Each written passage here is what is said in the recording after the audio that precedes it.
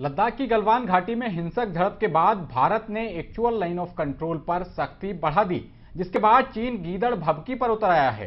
चीन के सरकारी अखबार ग्लोबल टाइम्स ने धमकी भरे लहजे में लिखा है कि भारत जानता है कि चीन के साथ जंग नहीं की जा सकती, क्योंकि नई दिल्ली को पता है कि अब अगर युद्ध हुआ तो उसका हाल उन्नीस सौ बासठ की लड़ाई से भी बुरा होगा।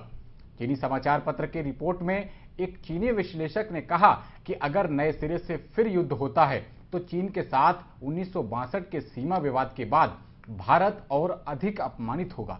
यदि वो घर में चीन विरोधी भावना को नियंत्रित नहीं कर सकता है। सौ फ़ीसदी प्लेसमेंट के साथ हम देंगे आपको मौका। Live 24 media institute. Admission open. Registration के लिए कॉल करें। Nine five six zero four six four one seven zero.